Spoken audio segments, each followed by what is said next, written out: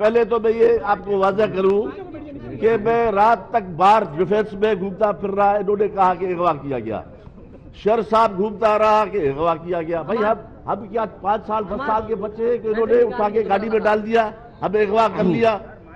तो बात ये है कि ये जो ड्रामा कर रहे हैं ड्रामा नहीं करे ये तो सारे गैर सियासी आदमी है। 28 मेंबर जो भी है ये गैर सियासी मेंबर है इनको सियासत का पता नहीं है।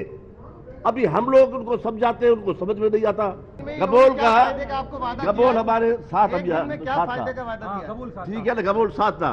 ये 20-25 आदमी पकड़ के ज़ोर से लेके उसको और दे दिया। हालाँकि उसका रात का स्टेटमेंट आप देखें कि मुझे किसी ने अगवा नहीं किया मैं अपनी का मर्ज़ी का वोट जो है दूँगा। हमारा जमीर ये कहता है कि ये हमारे साथ अच्छे नहीं चले हैं मगर हम अपने पार्टी में हैं पीटीआई में हैं पीटीआई में रहेंगे।